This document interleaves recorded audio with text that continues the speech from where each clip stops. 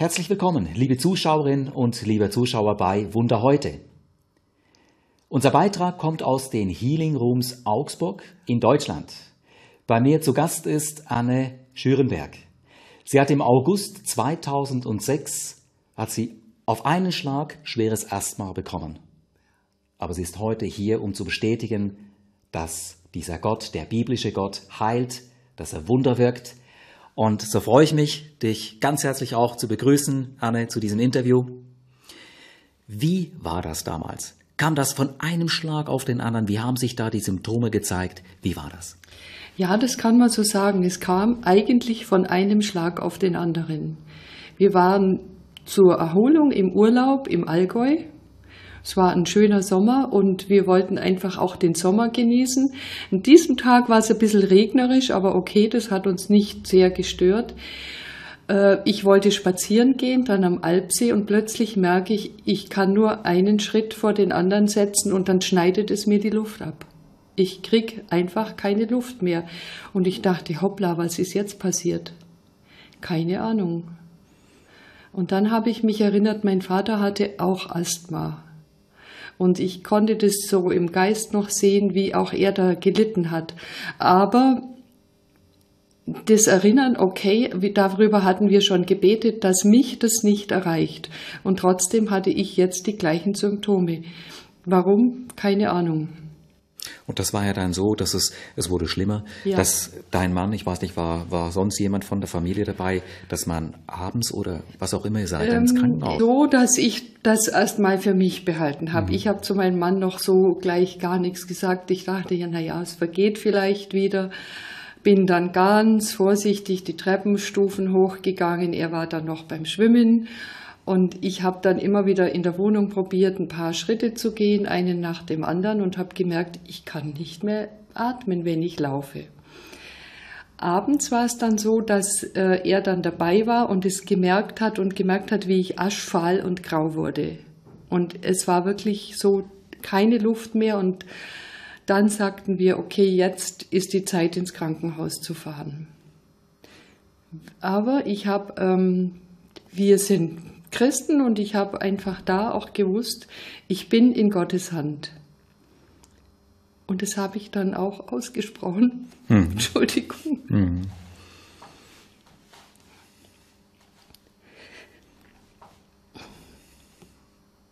Ja, das berührt. Ja, so das darf auch das, berühren, gell? Ja. Mhm.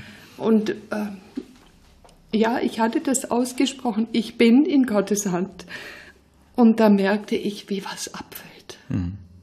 Und trotzdem sind wir dann in die Klinik gefahren, ich im Auto sitzend, nach Augsburg und in der Klinik wurde ich dann auf den Kopf gestellt. Die waren sehr, sehr nett. Und dann äh, war die, der Verdacht, ähm, Wasser in der Lunge, Herz und alles Mögliche. Es hat sich nicht so schön angehört, aber ich war da total ruhig. Es war echt klasse. Dann wurde ich von einem Arzt zum anderen geschickt. Wilfried ist auch Arzt, wir haben das alles gesagt, okay, wir machen das, wir beten, aber wir gehen auch diesen Weg.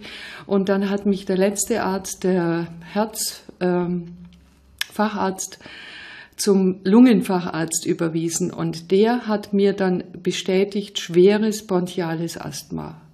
Es war erst schon mal nicht so schön, war ein Schlag. Gut, dann habe ich mir gedacht, das, das, nein, das nehme ich nicht an. Ich habe das nicht.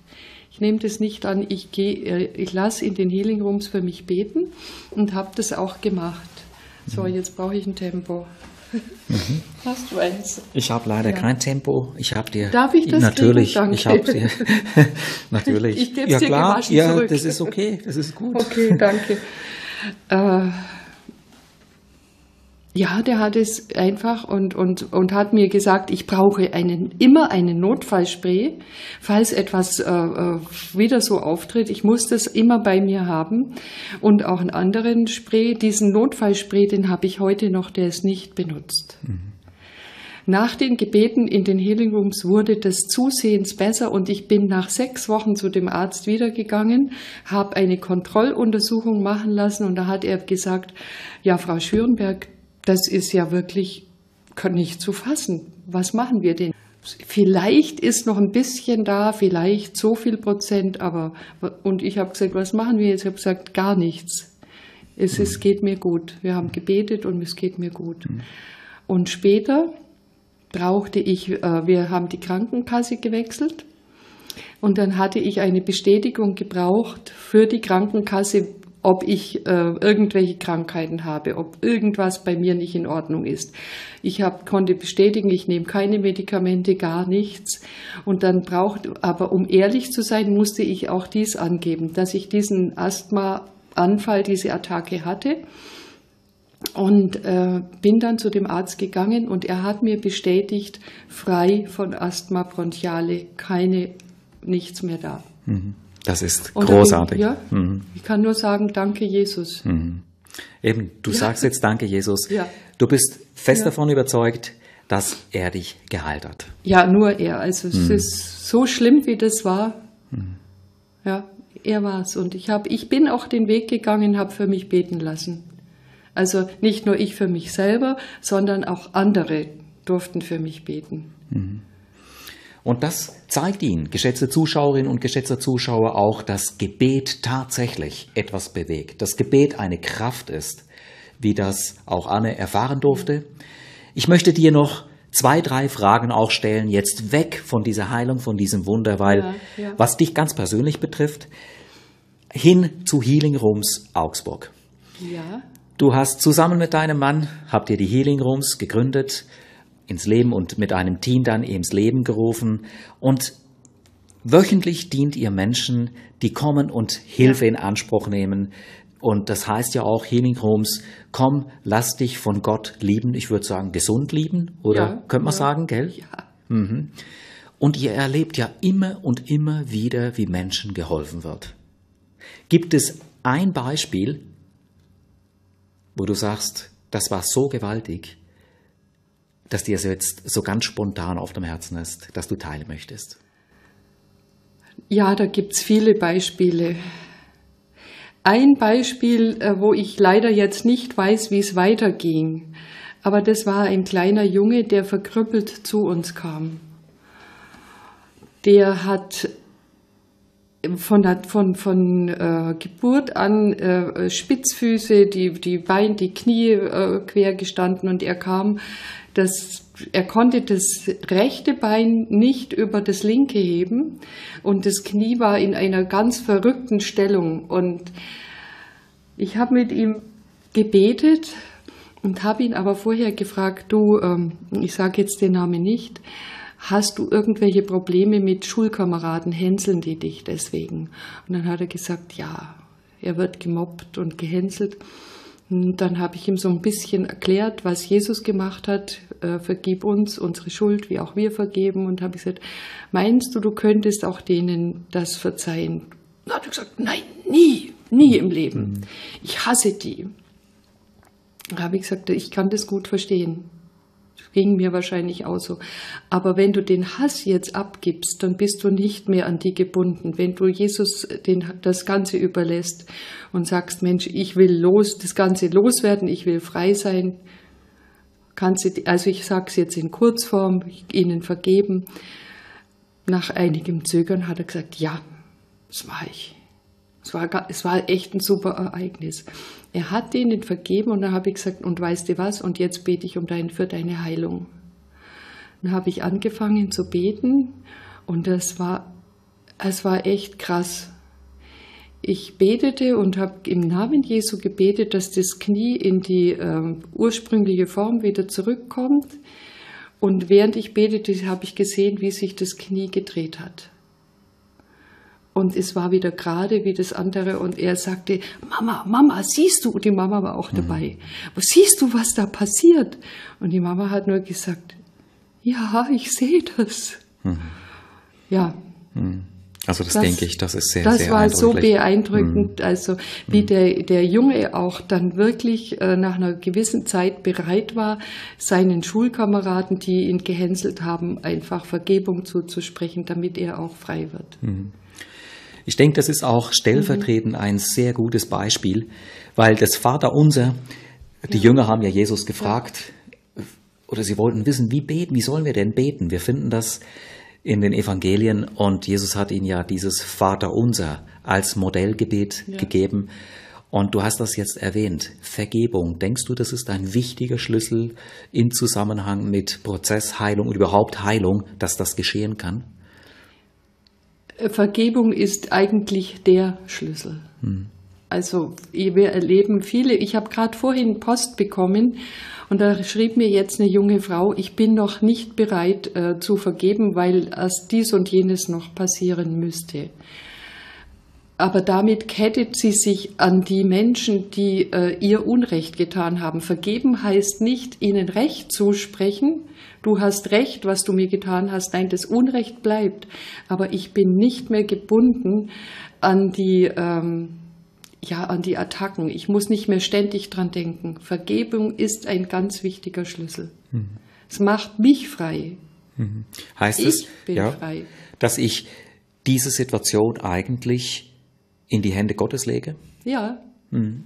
Und sage, ich gebe dir das ab. Ja. Nicht mehr ich ja. will jetzt da mir Recht verschaffen, sondern genau. ich übergebe es dir. Ja, mhm, ich dass übergebe es dir mhm. und ich entlasse dich aus meiner Anklage und du darfst, der andere darf so sein, wie er ist. Mhm. Und dann beten wir dann auch und Jesus, schenk du den Zeitpunkt, das Herz mit dem Herzen des anderen zu versöhnen. Mhm. Das ist oft das Schwierigste, das Versöhnen. Und da bete ich dann, dass Gott das äh, lenkt und leitet und nicht der Mensch selber. Das können wir nicht. Aber vergeben ist immer wieder ein Punkt. Hm. Und wir erleben das unglaublich oft. Also es ist schön, wenn Menschen vergeben. Wir sehen, wie sie reinkommen, gedrückt und dann kommt die Vergebung und sie gehen gelassen wieder weg. Und eine Dame hatten wir, äh, die hatte, die sagte mir dann, wenn ich das gewusst hätte, dann hätte ich das schon längst gemacht. Mhm. Ich fühle mich so viel freier. Es gibt ein ganz spezielles Buch, das wir an dieser Stelle auch empfehlen möchten, wenn es um das Thema Vergebung geht. Und eingeblendet sehen Sie den Titel des Buches und Sie können das auch bestellen, dort eingeblendet bei dieser Adresse. Und gleichzeitig weisen wir Sie auch darauf hin, dass Sie viele Heilungszeugnisse finden, auch was Healing Rooms Augsburg betrifft. Wieder eingeblendet sehen Sie dort die Adresse. Ja, geschätzte Zuschauerinnen, geschätzte Zuschauer, vielleicht sind Sie gerade jetzt in einer Situation, wo Sie sagen, ich habe eigentlich aufgegeben. Ich glaube, ich kann gar nicht mehr glauben. Mir ist so viel Schlimmes widerfahren. Wir wollen Sie ermutigen, auch durch diesen Bericht. Für Gott ist wirklich nichts unmöglich. Ja. Er schaut auf unser Herz. Es geht nicht darum, irgendwie viele Worte zu machen in einem Gebet, sondern ganz ehrlich zu sein und Jesus Christus einzuladen und von ihm Hilfe zu erwarten.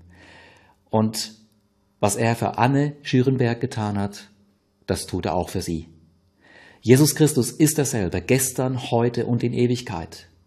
Vielleicht ist das der erste Schritt, dass Sie jetzt auch sagen, ich möchte ein Gebet mitbeten und ich bitte dich jetzt ganz spontan, Anne, dass du so ein Gebet sprichst, wo wir, wo Menschen auch sagen können, ich möchte jetzt Jesus Christus einladen, ich möchte meine Not ihm bringen und erwarten Sie, dass wenn wir das tun, jetzt auch miteinander, dass wir beten, dass Gott ihr Herz sieht und dass er sie berührt. Gerade auch in diesem Moment. Ja, Jesus Christus, ich danke dir, dass du derselbe bist gestern, du bist heute da und du wirst morgen da sein. Und ich danke dir, dass du jeden einzelnen Menschen liebst und kennst. Deswegen bist du auf die Welt gekommen, dass jeder, der dich anruft, Hilfe bekommt. Und so bete ich für den Zuschauer, der jetzt gerade Hilfe von dir möchte, egal welcher Art, sei es Asthma, sei er drogenabhängig und ich denke auch an die Prostituierten, die so viel Hilfe brauchen. Jesus und die so viel Befreiung möchten, die raus möchten aus diesen Kreisen. Ich denke an diejenigen, die alleinerziehend sind. Herr Jesus, die einfach oft die Kraft, ihre, wo sie die Kraft nicht mehr haben. Aber in deinem Vater unser am Schluss heißt es, denn dein ist die Kraft und die Herrlichkeit. Und ich bitte, dass diese Kraft, die Herrlichkeit auf diese Menschen jetzt kommt, dass sie, sie, dass sie geheilt werden, dass sie berührt werden von deiner göttlichen Liebe, dass du in ihr Zimmer kommst und dass du ihre heiligen Engel jetzt um sie stellst, Herr Jesus. Es sind deine Engel und ich darf dich bitten, dass du sie herumstellst. Nicht ich, sondern du machst es. Und Jesus, öffne du jetzt das Herz der betreffenden Personen, dass sie dich erkennen als den Herrn und den Heiland, den Erlöser, den Schöpfer ihrer persönlichen Art, ihrer, ihres Körpers, der ganzen Welt. Herr, du bist der Schöpfer der Universum und du bleibst es auch. Und ich danke dir jetzt, dass du in die Herzen der Menschen sprichst, dass ich das nicht bin, sondern dass der Geist Gottes jetzt dein Herz, lieber Zuhörer, dein Herz jetzt berührt und du wirst geheilt. In Jesu Wunden bist du schon geheilt worden. Du bist, du wirst gerettet, geheilt und von dämonischen Bindungen befreit. Danke, Jesus, dass wir das mit Sicherheit wissen und beten dürfen. Amen. Amen. Amen heißt so viel wie so sei es. Es ist eine Übereinstimmung. Und das glauben wir ganz fest, weil Gottes Wort, die Bibel, uns das sagt und bleiben Sie dran. Das ist vielleicht der erste Schritt heute, dass Sie sagen, jawohl, ich möchte das wirklich, ich habe das gemacht und es ist mir so wichtig. Und wenn Sie weitere Informationen auch möchten, ungeniert, schreiben Sie eine E-Mail, setzen Sie sich mit uns in Verbindung. Wir helfen Ihnen sehr gerne. Gott segne Sie und wir freuen uns, wenn Sie bald mal wieder bei uns vorbeischauen.